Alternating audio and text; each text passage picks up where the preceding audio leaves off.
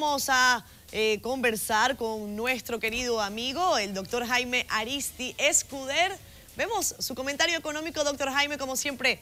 Gracias por estar acá. Buenas noches. Buenas noches, Catherine. A los agentes económicos dominicanos les interesa conocer el futuro del tipo de cambio peso-dólar. Por eso a principios de cada año presento mis proyecciones cambiarias. A inicios del año 2016 señalé que el tipo de cambio cerraría en diciembre entre 46 pesos con 53 centavos y 47 pesos con 38 pesos por dólar. Ese rango se calculó con un 95% de confianza, lo cual significa que de cada 100 intervalos calculados como ese, 95 de ellos incluirían el resultado a ser observado de la cotización del dólar en el mercado cambiario nacional. El 31 de diciembre del año recién pasado, el tipo de cambio de venta cerró en 46 pesos con 71 centavos por dólar.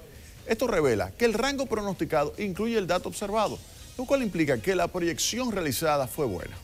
El tipo de cambio promedio del mes de diciembre fue de 46,67 pesos por dólar.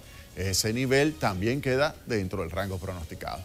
El desempeño del modelo de proyección cambiaria lleva a señalar que sus resultados pueden ser utilizados por los agentes económicos en la toma de decisiones financieras empresas, por ejemplo, pueden incluir esas proyecciones en sus presupuestos de ingresos y egresos.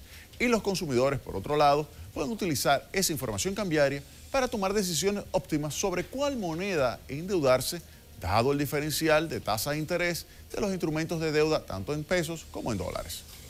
La pregunta que queda por responder es cuál será el tipo de cambio para diciembre de este año 2017.